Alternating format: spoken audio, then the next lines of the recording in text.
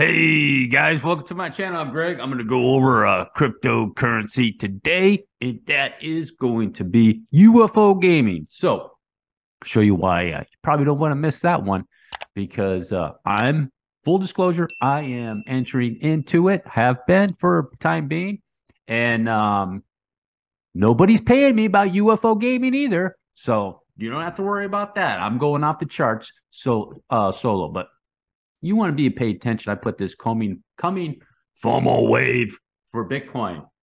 And um you have a good shot. You might be in this sucker. You might be in this sucker right now. Looks like it may have uh may have already started. But here's Barnbridge or Bond.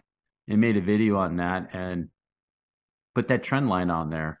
And um I decided to risk it for the biscuit. Pick up some Barnbridge at three dollars and fifty, sixty cents or something like that and uh, looks like that was a good decision. It just looked a little too bullish to me. So the nice thing about Barnbridge over here is that it made a nice move over there. You can see that going up and up and up and up and up and up and up and up and up and up and up for a total of what? Let's check it out. Almost a 10x. That's why I entered into it, guys. So back over to UFO gaming. Let's check this out. All right, so here's UFO gaming, kind of in the same position.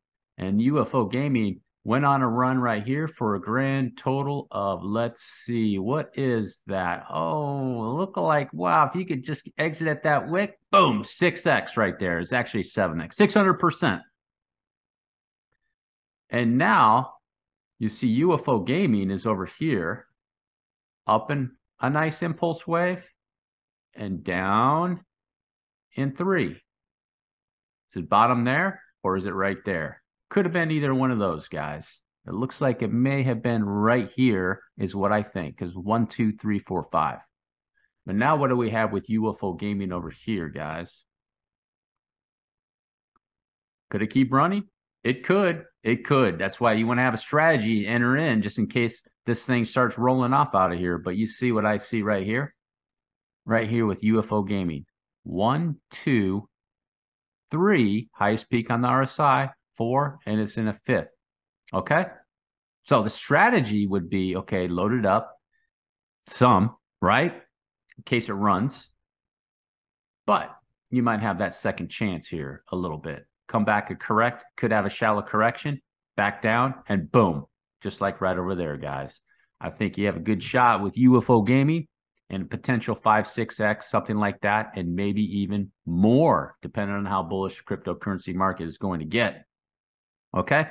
So going through these assets, I'm just going through the assets, guys, you know, like um, some of these of uh, what entered in when I was talking about entering in, you would have done pretty good done pretty good ever since June. Just buying these things in June, some of these in June, you'd still be up like two to two, four X. And um, the other one, Synthetix, is doing really well. Don't underestimate Synthetix. There's something about that's telling me that that's going to do really well. I don't know why. Uh, maybe it's because I'm in it. Nobody's paying me to say anything about that either. All right. I'm going to reiterate that. You know, I'm not these uh, type of guys, man. I'm trying. I'm for the little guy. I'm for the little guy that's trying to make bank. That's who I'm for. You know? And that's how cryptocurrency should be. That's what decentralization is all about, guys. That's really what it's about, in my opinion. But most of the guys want decentralization and they they they want all the benefits of it and all the big players, the rich guys too that are in there. And um, the bad actors ruin it, guys. That's what happens with with decentralization. When you have an, something that's decentralized, you have bad actors that come in and they screw it up. That's the problem with decentralization, guys. They've tried governments like that. Uh, using as government as an example is that you have to have like in a society, you have to have some sort of centralized authority to take care of the bad actors. You know, there's the theory that uh, your your common people in society would take care of the bad actors and get them out. Um, the problem with that theory is that people are lazy and uh, they don't work for free, right? So you got to pay somebody to get those bad actors out, right? So that's the issue with it. Okay.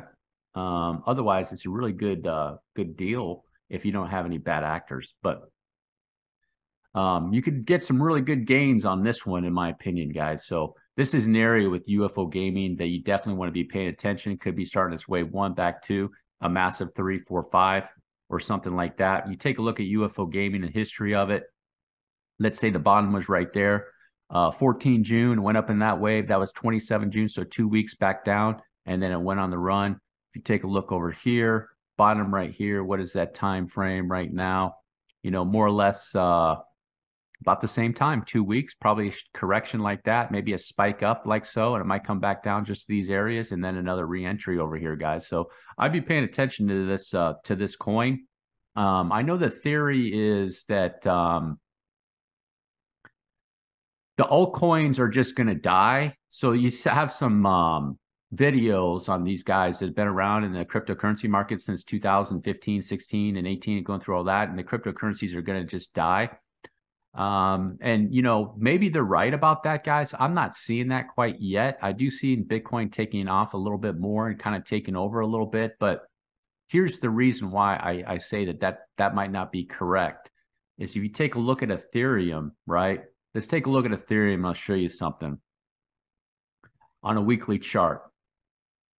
That's a 45 day chart. We don't want a weekly chart. Here's Ethereum on a weekly chart. Okay. Now, with Ethereum, okay, it's coming up to that resistance. Is Ethereum going to come back down and break that? That's a good question. You want to keep that in the back of your mind, guys. But if the bottom was here and this is a wave one, okay, over here with Ethereum, this is a wave one. It came back down. It's corrected here. It's working on a wave one and it's going to correct a little bit more. It could be going into a three of some type of wave. Okay, so here's your wave one, two, here's a one of the three, three of three, and then back down, and then like so, and then maybe a four, and then back for a five. Now the question remains: is that that is that a possibility? That's definitely a possibility, guys. Um, you can't rule that out. And just to sit there and sit on your hands and go, okay, it's just they're going to dump to 300 or 600 or something like that is probably not a good strategy. I mean, even buying Ethereum right now, guys, like when I say at the bottom, you know, if you would have sold it there, that's 131%. If you would have still held onto your Ethereum, buying at the bottom right there, you'd still be up 2x.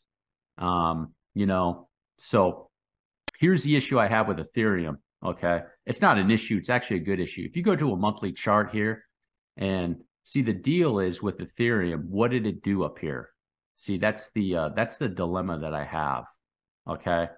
Um, the assumption is that Ethereum went one, two, three, four, five, right?